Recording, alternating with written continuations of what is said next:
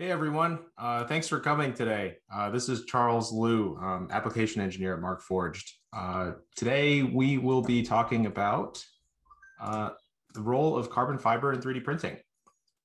So, you know, I, I think many of you have heard of, about carbon fiber. Maybe you've maybe you've used it yourself. Uh, I I wanted to uh, give a quick agenda here um, and and just show you what we're going to talk about. Um, feel free to throw into the comments in, into the into the question qa area or, or comments uh, chat um, whatever it's called these days uh, what you're looking to get out of this session uh, I'll, I'll, I'll, do my best to, uh, to provide the service for everybody here. Um, you know I, I don't want to just uh, go over information that everybody already knows. Um, so the agenda for today i'm going to first ask you a few questions uh, flip flip this on flip this on you here. Then we'll go through the basics of carbon fiber and talk a little bit about the physics of carbon fiber and 3D printing, and finally go through a comparison of short and continuous fibers. I think I think the first couple sections will be pretty quick, probably the first 10, 15 minutes, and then we'll spend the bulk of the time on short versus continuous fibers. Uh, will this be available as a recording later? I uh, sure will. Uh, so let's let's go into a few questions. So these questions are uh, these are for you to ponder. It's I mean, write them down if you'd like. I, for me, it, it personally helps to uh, to write things down uh, so that I get a sense of what actions I need to take after after a meeting like this. You know, there's a lot of information. So uh, write it down if you'd like. Type your answer into the chat if you're comfortable, um, or uh, just make a mental note. However, whatever uh, works for you. Um, but I, I, suggest writing it down. So, what are you hoping to get out of this webinar today? Uh, there's, you know, the, the topic is about dispelling the myth of carbon fiber. Um, and you know, is, is that something that you're you're actually interested in? Or do you have specific questions? Um, you know, feel free. This is a forum for you to come and ask those questions. Um, so I would I would encourage you to uh, to be open and, and ask us what what you want to hear. Um, so take a minute to think about what you're hoping to get out of this today.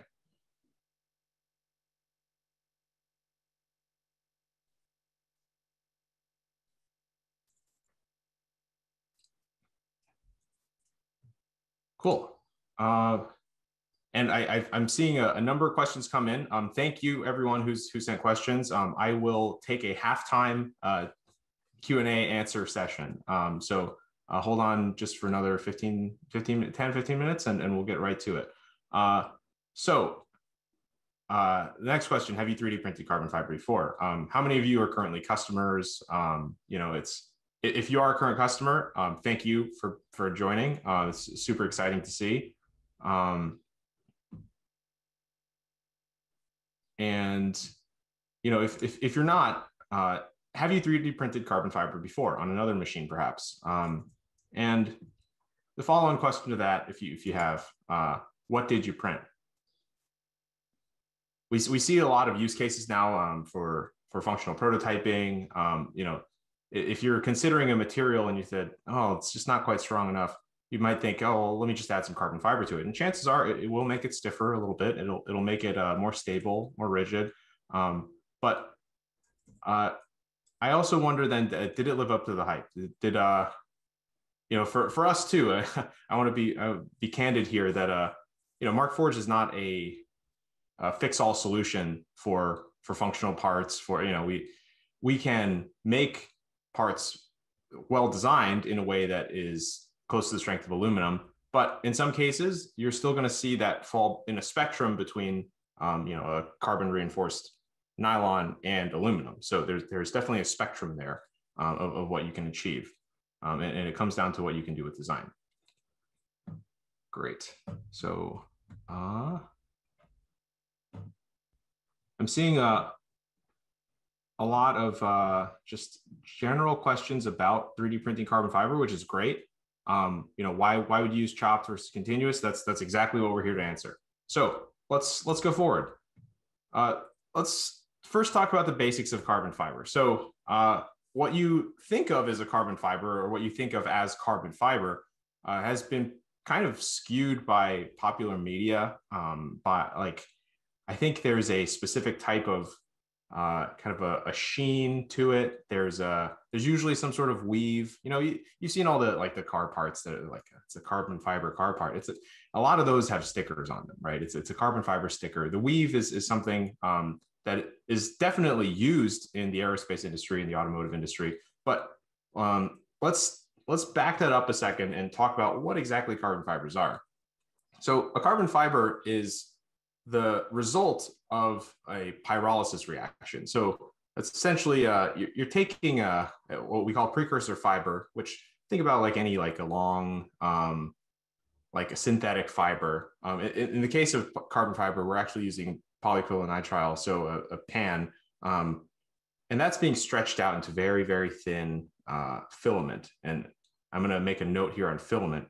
Uh, in the carbon fiber manufacturing industry, filament denotes a very long, thin strand of substance. Uh, in 3D printing, filament is also a long, thin strand, but the, the scale is totally different, right? Like, like the, the filament here that we're talking about uh, is five to 10 microns in diameter, whereas the filament that we're talking about 3D printing is, you know, it's, it's on the one to three uh, millimeters in diameter. So it's, it's a, it's like a totally different scale of material, uh, three orders of magnitude different um, but it's still a very long thin filament. And the reason why there's all this hype around carbon fibers, if you if you look at it on like a on that scale, um, even even if it's it's this scale or, or blended with more fibers into a tow, uh, these fibers are incredibly strong and stiff. Um, or, or sorry, they're they're incredibly strong in tension, and and that's that's where a lot of the uh, the root comes from. So what you get with carbon fiber in, in reality is like you take all these very long, thin, five to 10 mil, uh, micro, micro, uh, um, micron thick filaments, and we're blending those together into tows uh, somewhere on the order of uh, on the order of thousands. You know, you, you might see in carbon fiber manufacturing, might say 1K tow, 6K tow, 24K uh, tow. That's how many individual fibers there are. So uh, you take a bundle of these fibers, put it together, and what you get is a, a, tow, and that's the basic building block of the material. But that material on its own is uh is is just uh it's just like a, it's just yarn, right? That's what if you see it in in reality, it's like it's like woven like a fabric. So because it's very strong in tension, when you combine it with another when with a thermoplastic material or a thermoset resin, it's gaining a lot more because now it's being held in place and the tension can be trans, uh, transitioned into flexural, uh, flexural strength. So uh, carbon fiber works best as part of a composite. And um, just like uh, LeBron James is not going to take the whole team by himself um, to, to the NBA finals and, and, win and score all the points, like he needs a team to help him. And car- uh, carbon fiber, same way, uh, needs, needs some assistance in order to, to be the great that it is. So let's talk a little bit now after after we've talked about the carbon fibers themselves. Uh, what is the 3D printing physics of, of like well, what happens when you actually print it?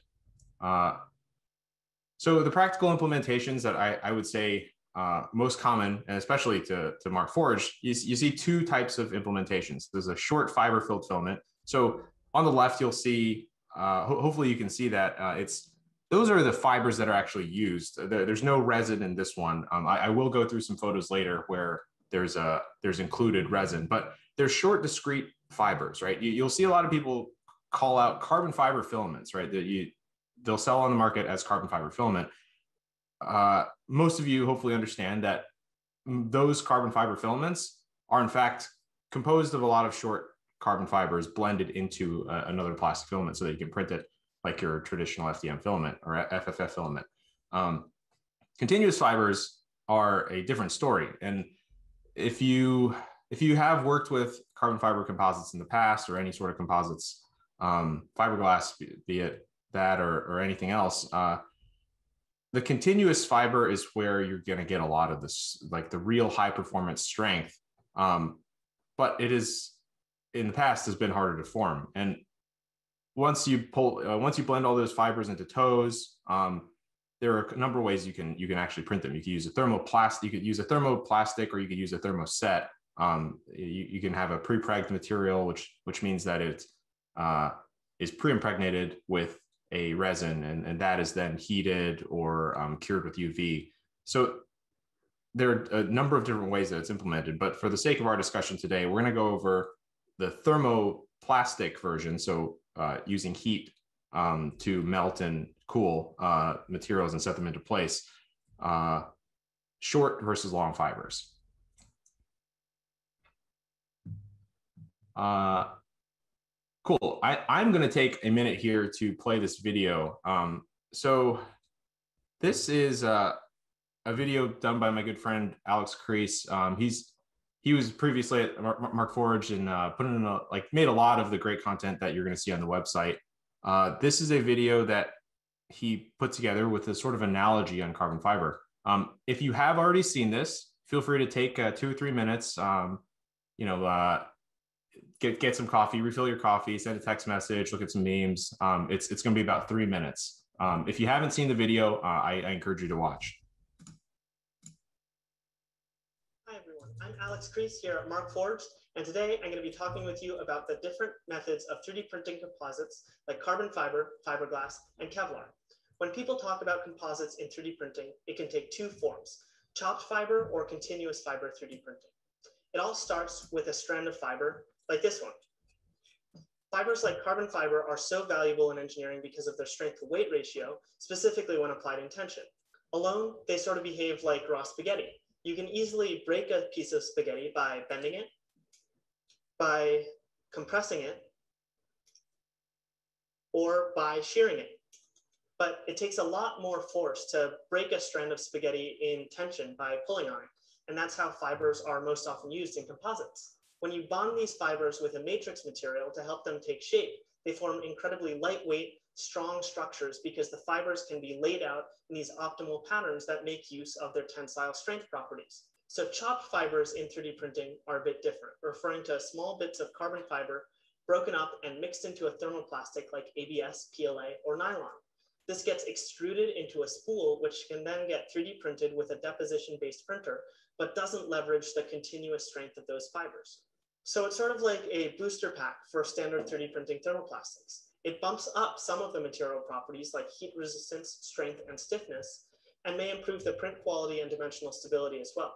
But the strength is largely defined by what's holding it all together, which is the thermoplastic. Continuous fiber printing is a variant of a deposition-based printing process called continuous fiber fabrication, or CFF. One nozzle builds a thermoplastic matrix material while continuous strands of fiber are ironed down into the part with a second. Software allows you to lay these fibers down in specific places with specific settings to optimize the part for its strength, just like with traditional composites. So a part reinforced with continuous fiber leverages the strength of the continuous strands themselves rather than relying on the thermoplastic for strength. And we can show what a difference that makes right here. So chopped fibers are basically a bunch of little pieces of a strong material adhered together in some way, like how these bricks are held together by their connection points. A continuous fiber takes that same material but forms a continuous connection across the loading surfaces of the same part, represented by these plates on the top and bottom. So when we apply a load to a chopped fiber part,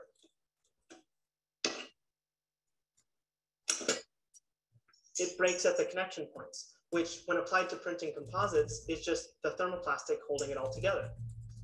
When we apply the same load to a part with continuous segments spanning the load paths, in this case, the top and bottom plates of the part, the chop segments act as a filler or matrix material, and the load holds because it's being distributed across the loading surfaces by the continuous reinforcement. This concept is what makes the continuous fiber so much more powerful than chopped. I hope this clarified some of your questions about 3D printing composites. Happy printing.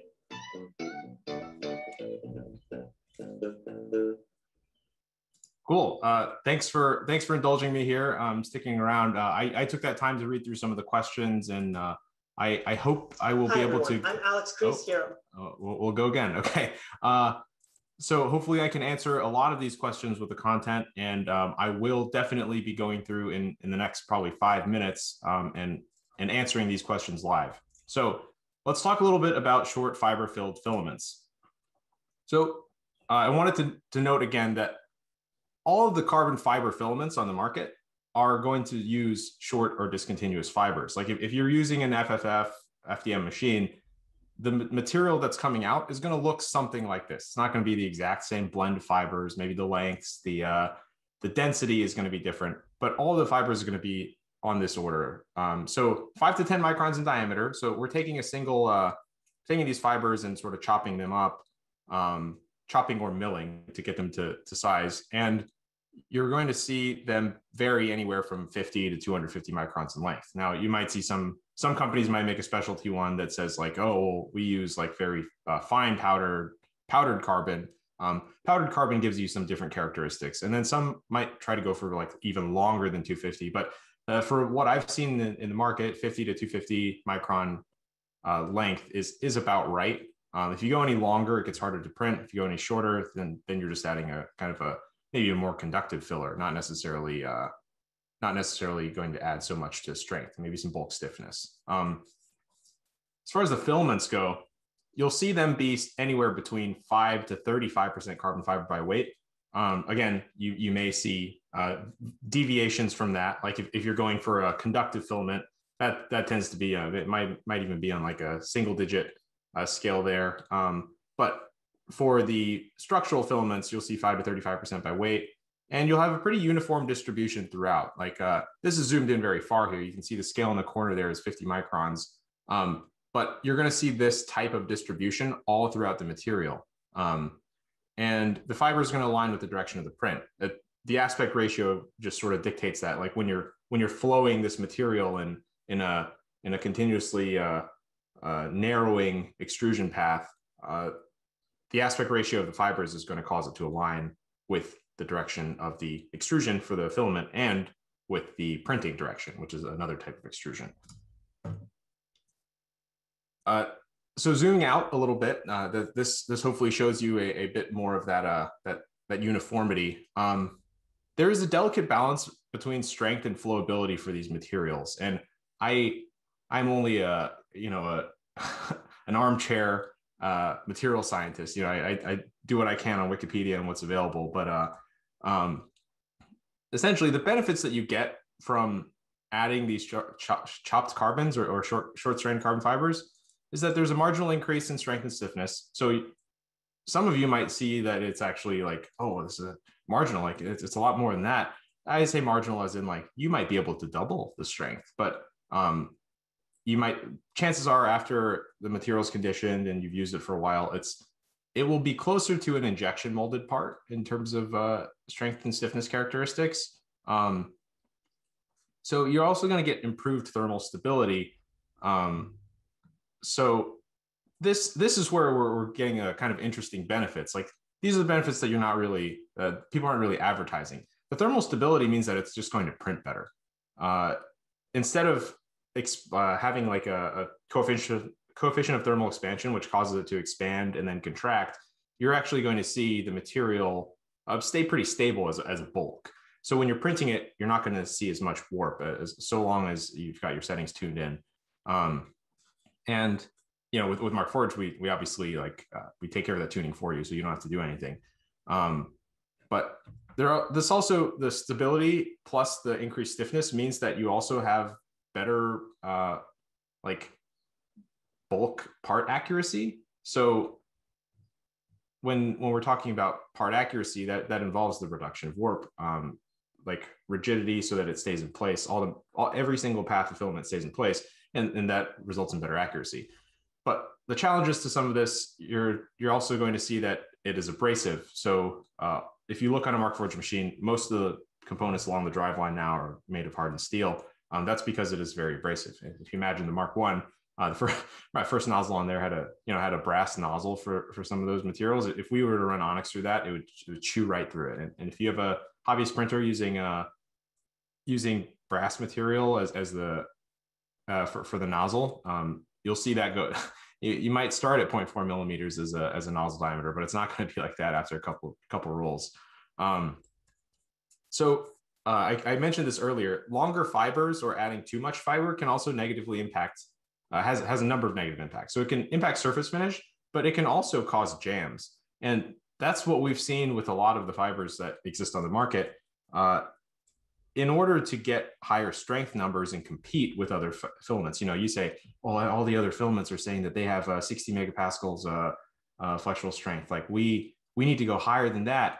Um, let's let's fill it with more. Let's fill it with more. Um, and what you end up getting is like just o- overfilling, which causes you just have a machine that, that, they can't ever finish a part um, because the, the, material is uh, is always causing jams. Um, so what does that actually translate to in terms of strength? Let's let's just take a quick look at the numbers here. Uh,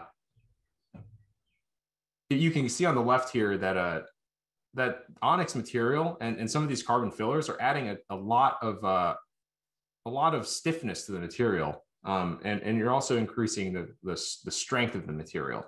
Uh, but you know, I want to note that this scale on the left here um, actually comes down uh, and, and is that scale on on the right. It's the continuous fibers are just like it's a it's a world of difference. It's, it's an order of magnitude of difference in, in strength um, and and stiffness. And so that's that's uh, where we'll kind of get into the bulk of material next. So uh, we've reached halftime. This is this is halftime Q and A. I'm going to go through a lightning round of the questions. Um, uh, looks like I have 59 open questions. Hopefully, I can do these pretty quick. Um, let's see. Uh, starting from uh, from 1006. I'm, I'm sorry I dragged you along here for the last 20 minutes. Um, hopefully, I can still answer your question.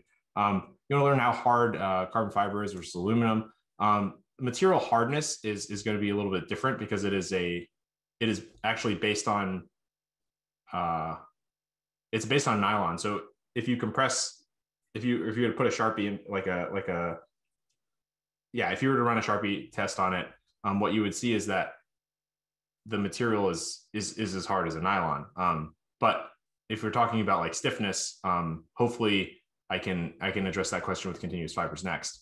Uh, best applications you would not normally realize. Um, for the chopped carbon ones, it's it's like a lot of like end plugs and stuff. Uh, honestly, it's like, oh, sorry, I, I have a, yeah, it's it's a lot of like end plugs and caps and fittings. Um, if you're using a chopped fiber, but when we're talking about uh, like the continuous fibers, um, it's it's really like you got to start looking around at at parts that are just kind of a pain. Like anytime you, you say, oh man, I don't really want to source that. Um, it's made out of aluminum. You could potentially replace it with a with a with a printed com- component using a continuous fibers. Um, so let's see. Uh, impact strength um, and some comparisons to to uh, let's see to to traditional layups. I would say that the traditional layup is going to be stronger overall because it is um, it tends to have fiber alignment built into to what you're doing. Um, now that's for for a, a, scale of part that is very large, right? Like I, I'd say that the, the the layup process is not conducive to making very small components. Um, whereas with 3D printing, we can actually very finely direct where the fibers are going. But if you have a large bulk part, um, you're going to see that be a lot stiffer um, than a printed part in, in, in general, um, because you can also have uh, finer control uh, or, or, easier control over the bulk uh, uniformity across the material. Um, for a sense of scale, um, this is the build plate on the X7. Uh, it's it is 13 by 10, and then uh, if we were to build upwards, uh, eight this way. So 13 by 10 by eight. This is about the scale that I would say uh, makes sense for these materials. Um, I obviously uh, we've had some some customers that take multiple parts, you know, kind of full size, and, and put them together into a, into an assembly. That if, if you're a systems integrator, I think if you're bolting a lot of stuff onto a plate, um, that that's the way to do it rather than trying to print like a whole plate of stuff, um, you know, the whole tray. You, you can add different components to it, um, bolt those down to an aluminum tray or steel tray, however you want to do it. Um, let's see. Uh, a lot of questions for why we should uh, why we should get going with uh, chop versus continuous. Um, let's see, most reasonable applications for for CF as opposed to other filaments. Uh, yeah, so let's see. Let's why don't we we jump in uh, here and, and talk about uh, continuous fiber reinforced composites. So this is a, a, a bit of an approximation here, but uh, I, I, found this really great uh, web graphic that was highlighting this, the mountains of the solar system. And I thought, you know, this is sort of like a materials. Uh, actually, I'm, I'm, I'm, kidding here. I, I went and sought this out. I, I, figured there was probably a mountain taller than Everest. But what people are trying to represent as uh, very strong carbon fiber materials, you know, they'll they'll they'll sort of like uh, tag onto the carbon fiber uh, the name, right? Like they'll tag onto the hype and say, "Oh, we use carbon fiber. It's five times stronger than steel." Your filament's not five times stronger than steel. Yeah, neither is ours, right? Um, like, but if if you were to look at, uh, if you were to look at continuous fibers, it's a different story. Um, when we're when we're comparing these materials, um, the continuous fiber is an order of magnitude stronger, and I, I did see a question about when you should use uh, carbon fiber filaments versus uh, versus these, um, and hopefully this this gives you some indication. So if you're using other plastics and you need uh, better toughness or better stiffness, um, the continuous fiber is is where you're going to get a lot of that strength. Um, so as a comparison, um, I saw a lot of questions about aluminum here.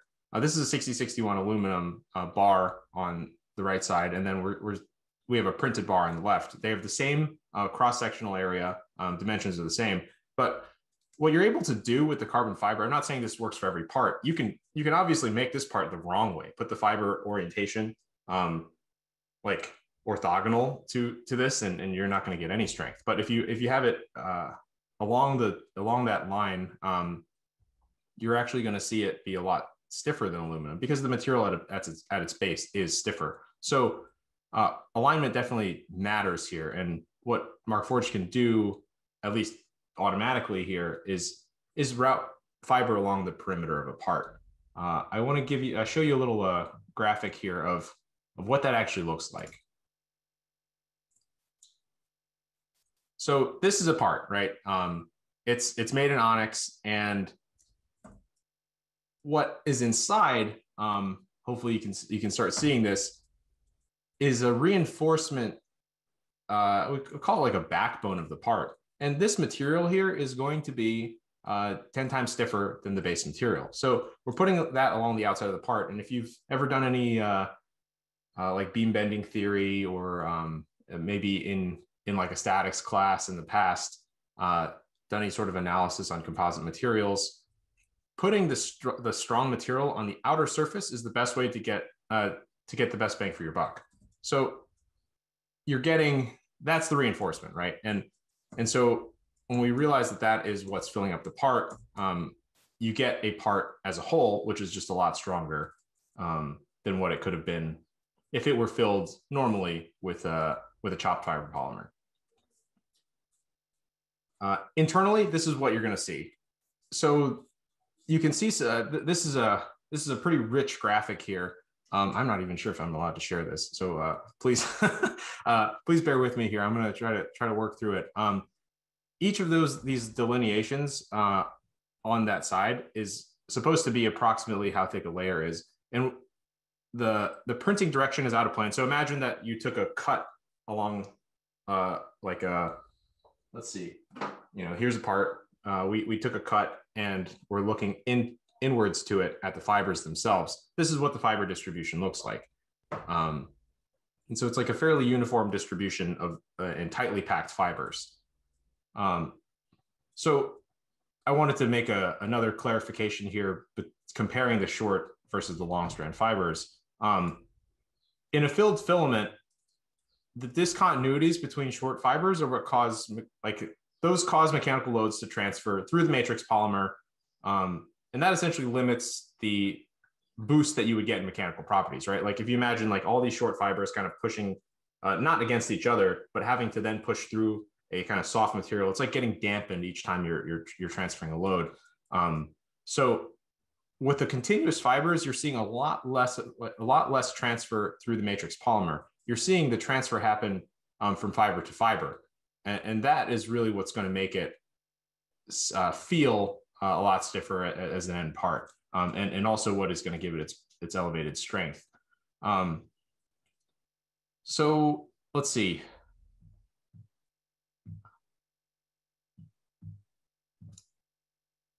Uh, to put some more numbers to this, uh, we could compare the tensile strength uh, of, of materials here. So for one, I you notice that I put a claimed number here. It's it's I want to note that the material strengths that people use are not always conditioned to ASTM D638.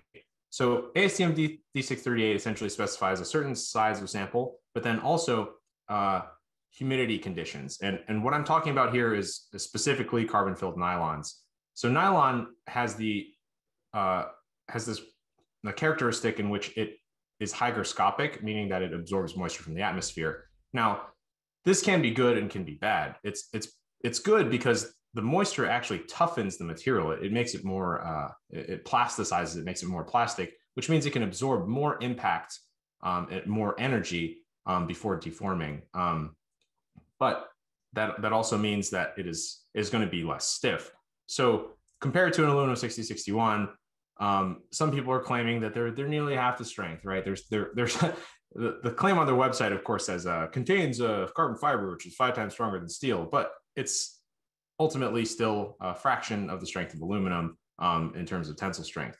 Now we we actually do list values that are conditioned. So after we've done some testing, I would say that most materials on the market will fall in that 60 range. Onyx is Onyx is at 40, and that's because we actually choose to use less carbon fiber. Um, don't don't tell anyone um, because we get the bulk of our strength from the continuous fiber, not from the chop fiber. So we're optimizing the blend of Onyx to print accurately, and that's that's that's sort of the maybe the secret sauce here.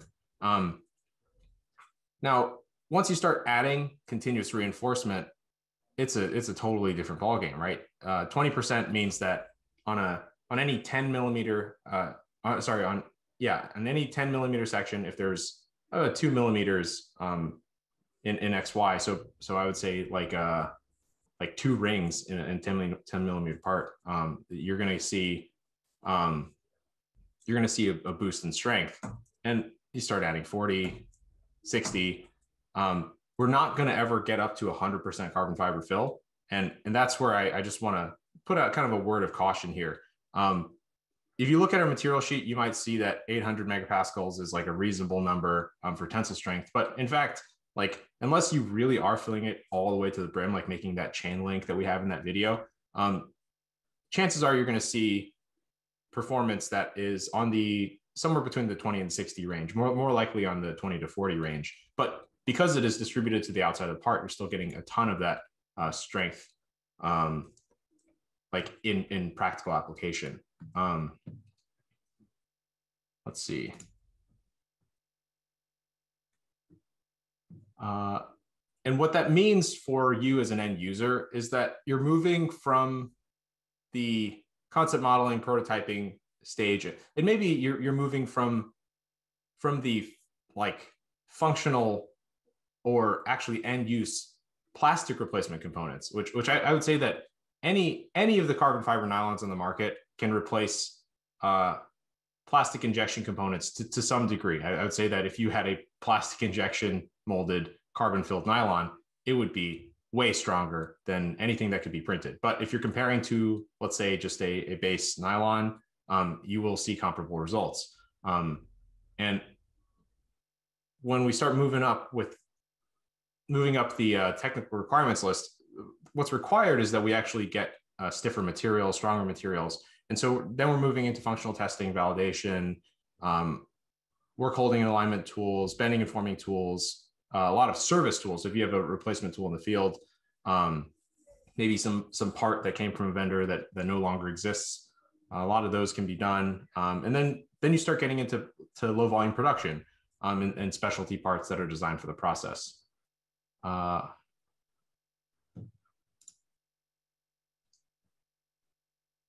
So yeah, the, the sweet spot is in low to medium volume uh, with moderately high loading requirements. And, and that's really kind of the sweet spot for Markforged. Um, I'm going to take a pause here and then answer some more questions. Uh, let's see. I I'm going to go. I'm unfortunately going to have to go in reverse order here um, from from most recent. So. Uh, let's see. Lifespan of hardened nozzles versus brass. Uh, so versus stainless. Uh, this this I don't I don't actually have a great number. There are a number of YouTube personalities actually. Um, I think I actually I think Modbot, CNC Kitchen. Um, they do some reviews on on hobbyist machines. Like we obviously have our own proprietary uh, equipment, um, but yeah, we, we use a hardened steel nozzle, and I would say that the lifetime is is uh is like uh just like carbon fiber, uh, continuous fiber is an order of magnitude stronger. Um, the the hardened nozzle is an order of magnitude more wear resistant than a, than a brass nozzle. Um, cyclical loading, um, that's actually a great question. I, I think based on light cyclical loading, um, it, it, depends on the duty too, right? So if you're if you're you're going for uh, very light duty, uh, kind of like vibratory wiggle, like I would say that it's probably fine. If you start kind of doing like really big oscillations, um, that like in, in, any carbon fiber composite could cause delamination. So that's uh, something to consider is like the duty at which you're doing that. Um, we also have different materials which are built. So carbon fiber is one material, but we also have materials which are built for that type of impact resistance. Um, I would say our high temperature fiberglass is actually a great material. Kevlar, um, those are good at, at uh, absorbing energy. Um, and probably that would reduce the amount of uh, deflection delamination. Um, why is the Onyx ESD tensile strength higher than the regular Onyx? Uh, it contains more, it contains a different type of carbon. So because it is a conductive, we're adding a conductive additive, um, that additive actually imparts more stiffness um, at the uh, cost of some some amount of durability. It, it, also has a different polymer matrix, so there's there's a little bit of difference there. Um, reasonable maximum of fiber uh, content without uh, without having issues. Uh, I'm going to jump back up to. Uh, To jump back up a few slides here. Uh, I, I think it depends on your geometry. Like I, I have to be fair here. I've seen parts that are loaded to about 60, uh, 60%, 70%. Um, and that's because they were purpose built designs optimized such that you could route continuous fiber all along. What that requires is some like some kind of a little bit of ingenuity. It's sort of like designing for a casting um, in that you want uniform cross sections throughout, but you would just change the cross sectional width, uh, uh, section thickness such that you could fit more fibers through. Um, we do have a design guide and also have a, a, lot of content online about how to do this uh, this design for additive manufacturing work. Um, let's see. Uh, cost comparison, continuous uh, continuous carbon fiber versus Inconel. Um, so uh, these are these are pretty different materials. I, would say the Inconel is probably more expensive. It's a it's an expensive nickel alloy, um, but it's the the characteristics are different, right? Like um, for us, our our Inconel is not our Inconel is a high temperature material. Our carbon fiber is not a high temperature material. Um, we we sit on the order of like 100 C to 150 C um, as, as like a safe maximum for operating temperature, whereas the Inconel can go up to like I don't know, like over a thousand C. Um, let's see. Uh, dimensional tolerances. Um, can you machine the parts afterwards? I I think we're we're looking at the order of like for the desktop machines, uh, 250 microns. Um, we actually have a, a very specific guidance. It, the error scales with the size of the part. So at the very at the low end, it's at two, 250 microns, and then as you're uh, plus or minus, and then as you go up the scale, um, that's going to grow a little bit um, on the order of like 0.2 percent. So after that, it's a little bigger. Um, on the industrial machines, so the X7, which uh, which we talked about earlier, this this size machine, it's got it's got a laser calibration built in as a stiffer gantry. Um, that can get you probably on the order of uh, I think it's it's 150 microns um, plus or minus with a 0.1 percent grow after that. Hopefully that answers your question. Um, is it recyclable? Um, unfortunately, it is not. Um, I would say that it is a it's most of the parts that we see in use are are not intended to be disposed. Like in, in that uh in that graph of uh of applications, a lot of these parts stay they stay in production, right? Like they're in production for 5, 10, 20 years. So uh, while an aluminum component or a steel component could be recycled, a printed component would not be. Um, but it is also significantly less material that you're using in a lot of cases um, because you're not having to hog it out of a block. And all in all, I would say that the environmental impacts for this, and, and uh, like we we did a couple of sessions uh, and and crunched a lot of numbers. Um, I would say that the environmental impact overall is still net positive because we're reducing the amount of material that's being shipped, we're reducing the amount of material which is being cut and disposed of, um, recycling, like reducing the number of times that that material is being fired and recycled. Um, so I, I, I, hope that one day we can see a, uh, a recyclable material. Um, at the moment, it is not. Um,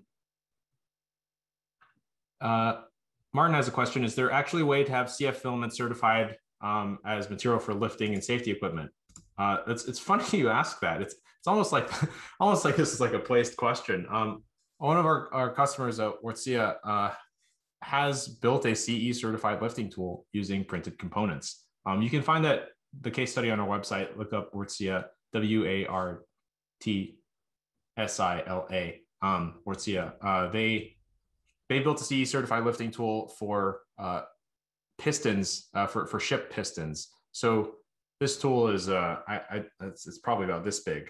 Um, th- these components are each each uh, the max size of the X7, and so we have got three of them. It's it's a it's a big tool, and this tool can lift close to a thousand kilograms, um, which is uh, it's a pretty impressive tool. Uh, my coworker Daniel designed it um, with the you know or, or helped design it um, with Wärtsilä, and it's it's it's really impressive um, what you can do. And the part itself weighs a fraction, right? It's it's a it's a quarter of the weight.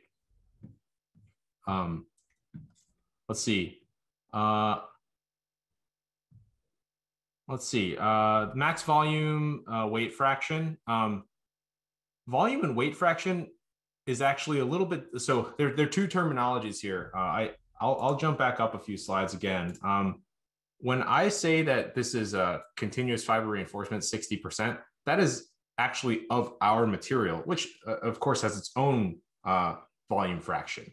And so we don't really disclose what those are. Um, but if you were to look at the, the strength of the material, you look at the data sheet, you could probably back out, you could probably back out approximately how much fiber's in there. I, am not at liberty to disclose um, what our volume fractions are. Um, as I said, with the, uh, with the chopped fibers, typically people order on somewhere between five and 35%. And for this material, because it is so much stiffer, I, I, I would, I would say that it is higher than that. Um, so uh, how did you achieve 800 megapascals? Um, and that that is based on a pure uh, printed beam. So if we're if we're talking about like ASTM standard beams, um, we printed a, a, pure fiber beam and measured based off of that. Like practically speaking, you'll never achieve that uh, 800 megapascals with a, a, printed part unless you were making a beam. Um, but you could see somewhere close here, like you see 60%, you can get um, 500 megapascals. Um, is there any shrinkage after manufacturing? There actually is not very much shrinkage because it's a it's a thermoplastic material. So the fiber keeps it from shrinking, which, which is pretty interesting. Um, yeah, ho- hopefully that answers the question. There, there's no cure time for that one. Uh, can the material be used on machines other than Markforged? Uh, I mean, if you can find it and put it on a machine, like I, I can't, I can't stop you. But uh, officially speaking, no. Um, you know, we we don't really sell it for other machines. Like it is tuned to work on ours, and so we we wouldn't be able to take any liability on it if if you were to take it and print it on another machine. Um, obviously, if you, if you look at a lot of the academic research that's out there, uh, they want specific type of pathing of materials that we just we just don't offer because Eiger is made to be very simple and user friendly we want to minimize the time that you spend going from art to part rather than spending a lot of time designing the part. So Eiger will let will not let you do a lot of that routing. So some people will buy our material and print it on other machines. Uh, obviously, uh, can't can't endorse endorse that. Um, you can machine parts after printing. Uh, use a high speed steel, uh, high speed. Uh, so an uncoated cutter. Um, I would say go at uh, high feed Um, don't go too fast because then you'll, you'll, you'll heat the material up. So just be mindful that you can burn or warp the material. So lots of like little short like cut passes. Um, uh, that said, there is carbon fiber in the material, so just like be careful. Um, if you're going to mill something, um, like be aware that there will be dust particles that, that come out of it. So make sure that you're using uh, you're using some cutting fluid that will that will then be able to carry that away without letting it go into the air. Uh, let's see. Way to calculate final part strength for the design phase. Uh, I, I, I think the best thing that you can do here is take an estimate based on how thick your cross section is, and then um, I'll give you a, a rule of thumb. Um, see if I have if I have that slide here. Uh, hopefully, hopefully this can give you some some clarity. So look up the composite design guide. That's that's available on our website. Um, you might have to put your information in again to get it. Um, but the fiber width is about a millimeter, right? So so each pass of the fiber is about a millimeter. So when you're going into factor um, for the design of a part, imagine like each fiber path is one millimeter, and let's say for a 10 uh, for a 10 millimeter wide part, you get about uh, 20%, right, for a single single ring around. And you get 40% for two rings around, um, 60 for three rings around. So that can be used as a baseline for estimating, but unfortunately, we don't have any FEA tools yet. Um, Tim, I see your question here that uh, FEA data for continuous carbon fiber. Um, we don't have it yet, but we're in it's it's in progress. Um, I think we're going to have some some eventual API linking with um, there was a MSC, I think is, is our first integrator um, that's going to build into our API and have a an FEA format come out. But I would look forward to that sometime later in the year. Um, it is not something that we can do right now. But if you wanted to just estimate based on one millimeter per path of fiber, I think that gets pretty close. Uh, let's see. Uh, most presented data doesn't show variability in mechanical properties. Um, how does the mechanical properties spread across samples compared between conventional and 3D printed process? Uh, well, I'd say that uh, we will have a dimensional accuracy report and also some some more uh, results. I, I think if you're looking at just the mechanical data, um, like I'm basing these numbers off of an average, right? And this is a conservative conservative estimate of an average. Um, and what what you'll see, um, let's see if we can go back up to the data sheet number. Uh, sorry to uh to be jumping around here. Uh, hopefully it's this one. Yeah. So the numbers are based on an uh, based on averages, right? So uh, we can probably at some point release more data around what those samples look like. Um, there's definitely variability, um, but it's it's yeah, I, I can't actually um, very accurately answer your question. Sorry about that. Um, so Roy asked, did the pure fiber beam delaminate? Uh, intention? No. Um, it's it for for the tensile testing. We are we are simply just pulling that beam. Um, in the bending test, I don't think the failure mode was delamination. The failure mode was still a was still a clean break.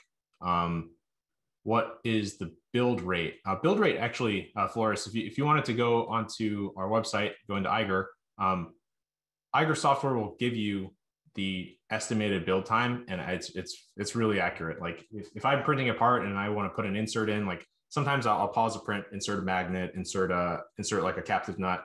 Um, I can trust it to be within plus or minus like five minutes in, in that build rate. So go into Eiger and check that out. Um, what applications? It's a nylon material, so you're going to need uh, some coating if you want it to maintain rigidity. The good thing is the continuous fibers inside the part tend not to reduce, uh, tend not to lose so much strength. So once you put the fiber in, um, and then you coat it with say a polyurethane or an, uh, like a like an acrylic varnish, um, you should be okay for some some wet application at least for some time. Uh, ease of adding internal metal components during the printing process. It's very easy. Um, Eiger lets you pause the print at a specified layer, and then you can take the build plate off. Like uh, uh, this part actually finished, but if, if I had not finished, I would have taken it off, uh, you know, put it on my workbench over here, uh, pressed in some nuts, and then uh, started printing over. Um, if it's a metal insert, nylon doesn't like to stick to metal, so I would I would uh, first apply some some glue to the top of that uh, so that it can print over. Um, but tends tends to be very easy to do. Um, let's see. Uh, Ooh, got a lot of questions. Some of these I'm, I'm unfortunately going to have to get to a little later. Um, I I'm going to see uh, resin being used generally with a uh, the, the resin that we're using is a nylon based material. Others others will use a, a, a variety of epoxies. Um, we're using a nylon. Um, one kilogram, 1.75 mil, uh, millimeter thick. Yeah, that's that's exactly uh, what we're selling. Um, but that's that's for the uh, that's for the onyx material. Uh, granted, so the material here on the left, the continuous fiber is a different material. Um, that uh, is sold as a. Let me, see if I actually have one here. Um, be right back.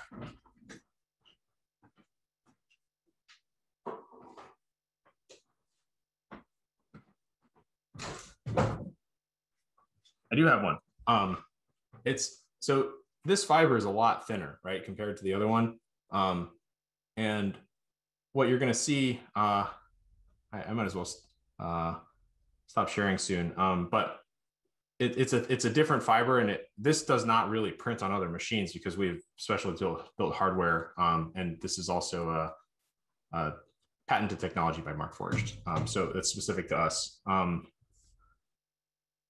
is there a lower limit to the radius of curvature for carbon fiber such that an attempt to turn uh, doesn't weaken it significantly, even its matrix? Uh, we actually tend to do uh, so. We because we're using such a thin filament. Uh, here's here's a something to note compared to other 3D uh, printers that are uh, saying that they do carbon fiber. Um, you're going to see this be able to turn in a lot tighter radius because it's pre-pregged.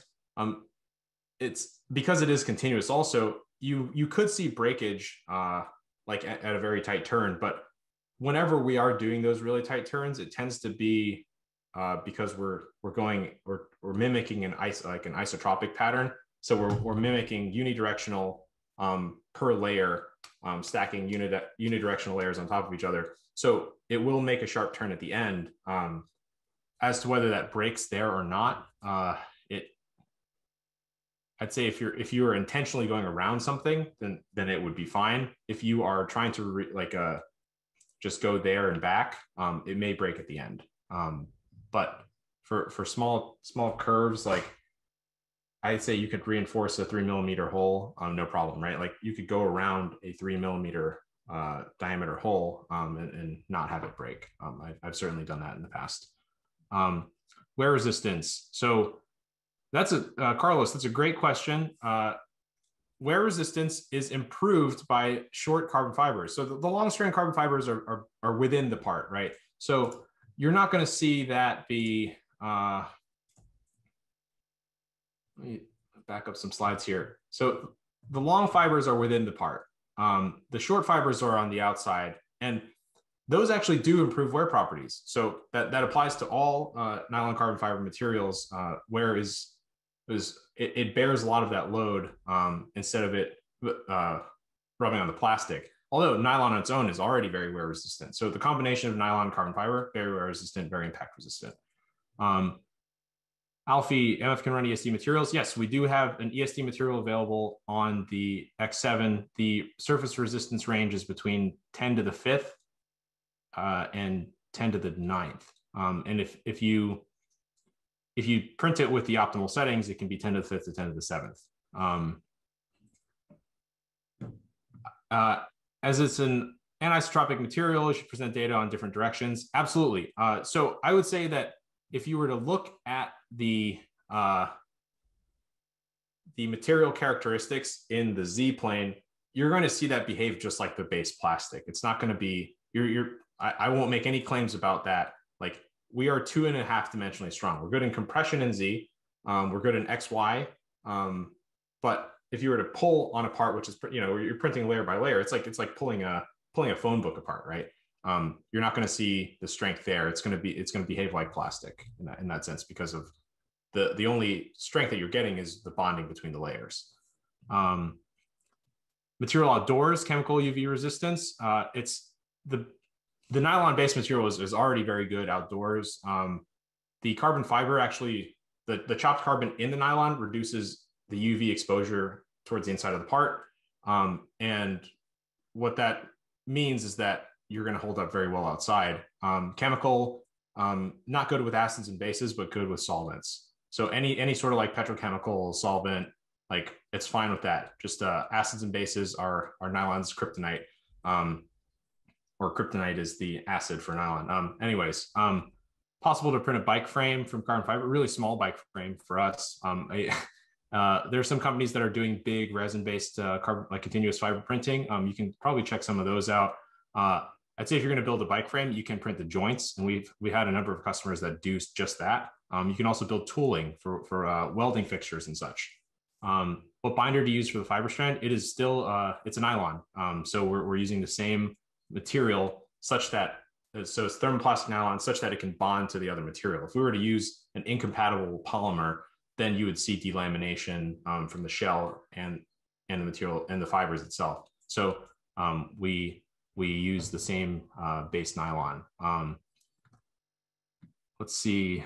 Uh, I see. Can can the mini printer on my table? Yeah. So uh, somebody's noticed in the background that I, I have a personal uh, Prusa Mini. That uh, I'd say you you know if you really wanted to, you could. Um, I would not expect my machine to last very long. Like I I, I want to keep this machine um, it's my personal use machine, right? So PLA is very very easy on it. I I just I just like to like to have it run PLA, um, maybe P like PETG, but not. I wouldn't run the Onyx on it unless uh, I wanted to have an early end to its career. Um, maybe with some like swapping materials, or if I were okay with getting new print heads every once in a while, um, it would be fine. But like you need to upgrade the extruder hob, the nozzles, like then you have to find like make sure that you have a source for all those. So I'd be I'd be cautious about that, but you certainly can. Um, uh, how many filaments have a tow of carbon fiber? Um, so the tow of carbon fiber is specifically the carbon fiber reinforcement material. Uh, the onyx material does not have a tow within it, right? So that's that is all chopped carbons, um, whereas the continuous fibers uh, are all tows. So if you look at our materials, uh, uh if you go to the Mark Markforged webpage, um, you'll see composite base and continuous fibers. Continuous fibers are all continuous tows. Um, studies on fatigue life. Um, we're, we're working on those. We don't we don't have any yet, Richard. Sorry about that. Um, porosity could uh, could they be used for applications that require waterproof ceilings? I, I would say that you would need to seal them um, because they're FDM. Like you're you are printing in discrete layers and discrete paths. Um, in order to get that to seal, I, I would I'd say that you could use a sort of vacuum impregnation that might be good, um, or you could use a spray coat if it's if it's not so critical. Um, spray coat seems to work pretty well. Um, nylon can be recycled. Why not nylon CF? Um, it's just that nobody wants to recycle a material that contains carbon fiber. Eventually, yes, I, would say like theoretically, there's no reason why you couldn't. Um, but nylon as a polymer also does degrade with each each recycling. Um, so with nylon CF, like uh, theoretically, you could take non CF blend it up, make it into pellets, but you then have reduced like uniformity. Um, eventually, I would love to see it recycled, or maybe if, if we didn't use nylon, we use another polymer. Um, parts legal to use on cars, boats, vehicle. Uh, this, I think, a lot of the safety standards um, are going to be on a case by case basis. So I, you know, you can use it however you want, um, but there's there's no like uh like national highway safety um, guideline on it. Uh, let's see. Uh,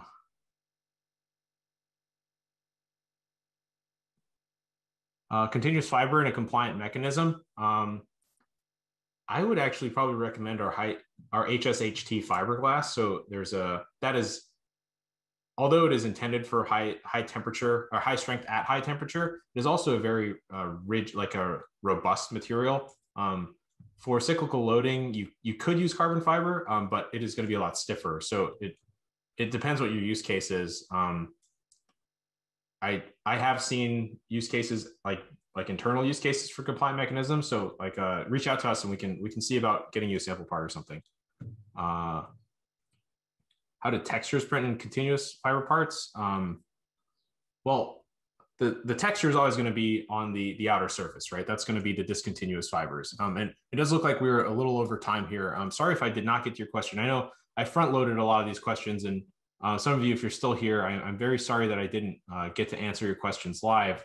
Um, but I we will reach out and answer all your questions um, directly, and um, hopefully, uh, hopefully that gets you an answer. And if not, um, you know, you, you, know where to find us. Let's see. Support after purchase. Uh, support. That's a great. That's a great question. Um, support happens. Uh, like we we have a whole support team. Um, it, it happens in two ways. So we have an internal support team. So if you have problems with the software, problems with materials, like the hardware, um, you can send a ticket to us, and we get you in touch directly with whoever uh, is closest to you. So we we have our internal team, but then we also have a network of partners around the world. Um, and chances are, if you bought a machine, you would get that from a partner and that partner would come in and install it for you. And anytime you need service, you can call them up directly. You can send us a ticket and we'll route it back to them. Um, so uh, phone, phone support is available. Um, we tend to, I, I, do think that our support portal is quite handy. And rather than waiting for somebody on the phone, um, it is often faster to either call the reseller um, or the partner, uh, partner reseller, um, who, who can come out and do that service for you, or uh, you can uh, reach out to support or or kind of DIY. For for the most part, I I don't really personally even have many issues. Like most of the stuff is like, oh, I, I need to order this replacement component. Okay, I'll go online, order it, and then uh, I'll replace it that way. Um, let's see. Alvin says, I would like to print exhaust shields. Uh, would continuous or chopped be best or HSHT? Uh, for an exhaust shield, I'd say if it's not under like any directional loading, the chops might be okay. Um, HSHT reinforcement will get you higher temperature. So see what that at the exhaust shield. Um, uh, yes. Uh, see what the temperatures are like in that area. Uh, we have heat deflection temperatures listed in the in the material spec sheet. So if it goes above that, then you might be out of luck. Um, if it if it's within that range, um, you're okay. Another option, if you wanted to make an exhaust shield, is to actually print tooling. Um, so you could you could have you could just form sheet metal if you wanted to. Um, that's that seems to be something that that's been quite popular um, these days that I've seen. Um, custom sheet metal, if you just if you can get it cut to size, um, order a cut sheet and then press it with custom tooling, that seems to work pretty well. Uh, application for 3D printed carbon fiber into metal. That's uh, Rafael, that's exactly that is. Uh, we're, on the same page here. Is it stiff enough to be used in a die uh, and tools? Yes, uh, we have a number of case studies actually on our website um, about use in sheet metal forming operations. So uh, hopefully that answers your question. Um, it can be done, and the continuous fiber helps a lot. Uh, your surface is still going to be that chopped material. So um, depending on how many shots you're trying to go for, um, you may see that that is not going to last as long as a tool steel die um, but you can certainly use it um, in, in shaping. Yeah, I would not use it in sh any shearing operation. Um, uh, pulling layers part with fiber weaker than pure onyx. Uh, Roy, Roy's question here. Um, that's a great. That's a great question. Logically, I think I think so. Um, it's not like uh, it's not like significantly weaker, but it, it probably is weaker. Um, the onyx being that it's like it's just more polymer bonding to more polymer. Um, fibers don't bond to fibers, right? So if you have a material which is more fiber um, trying to bond with another material with more fiber, um, you're going to see probably the, the, polymer bond being stronger. Uh, print molds for carbon fiber sheet. Yeah, absolutely. You can definitely do that. Um, you are limited by size, unfortunately, right now. Um, adhesion issues uh, with that, uh, I, I, you would probably have to do a surface treatment. Um, so whatever mold release agent you use for a traditional process, um, use that. I would recommend smoothing the surface too. Um, and there's something actually coming out soon with us. Uh, we're we have been working with some post processing companies, and there's some really interesting developments on what you can do with printed parts. Um, maybe that will be the next thing that I present. Maybe maybe next month. Um, but uh, surface preparation uh, for molding operations and, and end use components um, could is a pretty hot topic. Um, Alberto, uh, best way to test is the trial. You know, uh, rather than printing it yourself, even just uh, get in touch with us. Uh, we have a network of resellers worldwide, and they can provide you a sample part. Um, they'll print it on their machine, right? No need to tear up your machine. Just just like I'm not going to print Onyx on my on my Prusa Mini over here. Um, I would not recommend you print on your MakerGear M2 either, um, mostly because uh, I just I just wouldn't want to see your your machine uh, get get torn to pieces um, by the carbon fibers.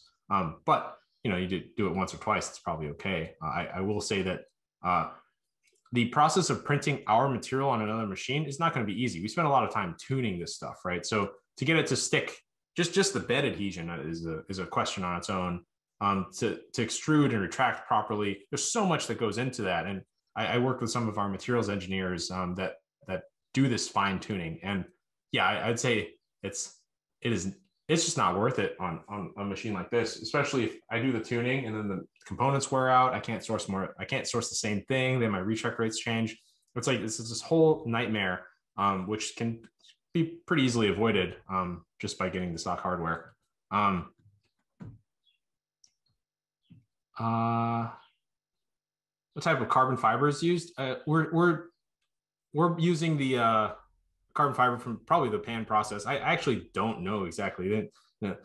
My, I it's outside of my pay grade um, to know what exactly the carbon is, but um, we are using short strand carbon, obviously in the Onyx, and long strand carbon. Um, the tow like the count is going to be like I don't I don't actually know what the the K count is for this, and and uh, yeah, it's it, it should all be uh, PAN based carbon fiber. Yeah, hopefully that answers the question. Um, but you know, don't don't take my word for it. I, I haven't actually uh, been told what it is. Um, difference in composition composition between Onyx and Onyx FR. Um, different. I think the fiber fraction is pretty similar. We just added a a uh, an anti-burning additive, or rather a, a additive which uh, goes undergoes an exothermic reaction and uh, stops burning. That's that's what it is. Um, why the Young's module is different? It, it, could be because of the additive. It, it also has a different uh, base polymer. So the fibers are the same. It's a different base polymer. Um, so they're, they're nylons, just different types of nylons. Um, Rob says, uh, can you print parts in contact with gasoline or oil? Yes, you sure can. Um, nylon is very resistant to petrochemicals, so that's totally fine. Uh, hand calculation for stress. Uh, continuous fiber in the XY direction based on the number of walls and total height. Yeah, absolutely. Uh, I hopefully uh, that estimate I gave you earlier, one millimeter per per uh, pass of fiber. So in any feature, um, let me see if I can go back to the slide here. Uh, uh, oh, uh, for any of you who are still here, uh, it looks like there's still 260 people on. Um, the Mark II is currently on promo. So uh, I, I just jumped to the wrong slide and, and happened. I realized that I forgot to even get to this slide. Uh, it's it's 15% off uh, until the end of the month, I think. Um, and I I've been at Markforged for four years. We've never done discounts, so this is uh, it's, it's pretty exciting. If you're in if you're in from interested in a Mark II, um, I actually have a build plate here under my desk. Um, well, I have a whole Mark II under my desk here. Um, this is the size of the build plate. It's 12 by 5 by 6. Um, let's see. Uh, this way. Uh, sorry, I was I was getting to something here. Uh, yeah, so a feature is open feature, um, one millimeter per pass. So you're actually getting two millimeters, um, and the walls are about 0.4. So uh, if you go into Eiger um, and take a look, uh, it's it's free free to use and get in there and look at the internal view and stuff. Um, each of the fiber passes is a millimeter, and then each of the uh, material pass is about 0.4. So that's that'll sort of, you can sort of calculate that way. Um, ignore infill and just take into account onyx and uh, yeah i i would say just count the infill as air if you really wanted to count it if a thicker section um take what the volume percentage is like we we actually list what the percentage is and multiply the strength by that that fraction but uh, what i've realized in doing some of these calculations is that the onyx barely contributes to the to the the base strength once you start adding fiber because this fiber is just so much stiffer and stronger that like the onyx onyx like hardly adds anything um, to the calculation um, let's see. David says our group is currently uh, researching data interfaces. That's great. Um, we too are are doing some of that. Uh, we don't have any commands right now that we can use um, specifically, but we will be releasing. I, I, think there may be more details at, on MSC's website than on ours, but um, we have something in the works with MSC around like an integration. so uh, for FEA, so hopefully that I can answer your question. Um, let's see. Uh, yeah, we're we're 15 minutes over. Uh, still have 250 people here, so I, I, I hope I can keep answering questions. I do need to, to hop off in the next five minutes. Um, do you need to dry the nylon before printing? An honest attendee asks. Uh, you do not. Um, our material actually uh, I, I, wish I could just have a camera that I can move around and, and show you what's in my office space. Um, well, not everything, uh, um, but our material comes sealed with like pre-dried and sealed um, in an aluminized bag. So you just load it into a dry box, which you keep the desiccant in and you print out of the dry box. So you don't need to pre-dry your material. Now, if you leave your material in open air for a day or, or even like eight hours, then uh, you're gonna have some issues. So just my, my advice would be to load it quickly into the dry box and then don't touch it again. Um, good thing is with Onyx, you don't really have that many options because you're either printing Onyx or another Onyx. Um, so for me, I just tend to run the spools all the way out. Um, and you, yeah, you don't need to dry it before. Um, let's see. Uh, yeah, uh, thanks everyone for joining today. Um, I'm sorry if I didn't get to your questions. I think uh, I might have been overzealous in asking for questions, but we will get to them. Uh, we will get to answer your questions uh, via email. We, we have your uh, your contact information, and, and we'll, we'll, follow up with some of those. Um, Mariel, thanks for putting this together. Thanks for putting me up to this. Um, I, I, hope this is informative for everyone. Um, please please feel free to share feedback with us. Um, if you want to type your feedback in here, we'll see it here too. Um, or you can email us directly. Uh, this was this is this is great fun for me. Um, I, I, I love uh, I love talking uh, talking shop about carbon fiber and uh, about use cases. So uh, hope that we can reconnect again uh, for the next webinar. Uh, thanks for coming. Thank you.